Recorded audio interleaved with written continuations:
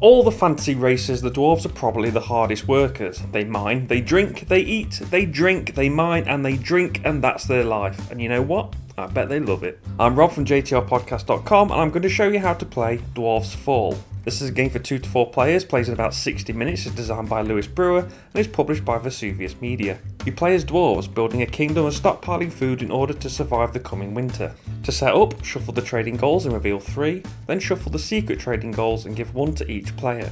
Sort gems by type and put them face up, and shuffle the ogre cards and put them face down. Give each player their 9 kingdom cards and the 7 dwarves of their colour. The youngest player goes first. Gameplay is over three phases perform actions, resolve, and discard. In the perform actions phase, a player has 3 action points, and each of the following actions cost 1 point each. The first action is to play a kingdom card, either adjacent to or on top of any other cards in play in any orientation. A card can be stacked on top of an empty kingdom card with a matching blue, purple, or green icon, except a monster or a castle. A kingdom is every card within the walls of a castle. This is important. The second action is to place a dwarf on any free space in the kingdom. The third is to move a dwarf you own onto any adjacent card if there is a free space, but not through walls. As a free action, a player can play an ogre card and resolve its ability. The ogre cards let you move, remove, or swap dwarves on the board.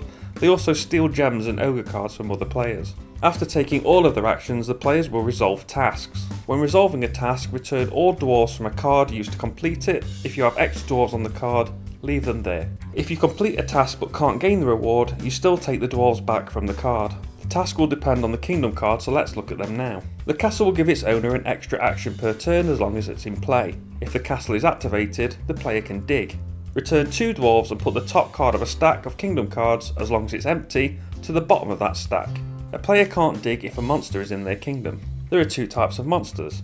Frost giants cancel the extra action given from the castle in a kingdom, Dragons stop all mines in that kingdom from working. There are four different mines. Return the required number of dwarves to gain an emerald, a ruby, a sapphire, or two gold depending on the mine activated. Put five dwarves on the same colour of the monster card to defeat it, and that player keeps the card for endgame scoring.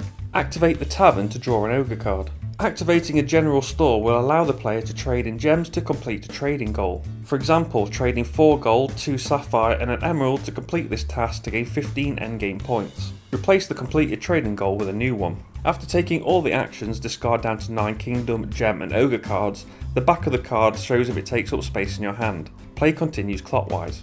The game will end when a player completes either 3 trading goals or 2 trading goals and their own secret goal, and players then score. Completed trading goals are worth their printed point value. Gem cards remaining in hand are also worth their printed value. Each monster the player killed is worth 3 points. If a player's castle is in play, score points for every kingdom card within the walls of the castle. The most points wins with the tiebreaker going to the player with the biggest kingdom, then the most dwarves still on the board. That's Dwarves Fall, a tile and worker placement set collection game. Please like this video if you found it useful, share it to let others know about it, and subscribe to the channel for more how to play videos as well as other board game related content. You can find me on Twitter at JTR Podcast, support the show at patreon.com forward slash JTR Podcast, and you can find my blog and podcast at jtrpodcast.com. I've been Rob, aka Jesta Tha Rogue, and until next time, keep on expanding your kingdom.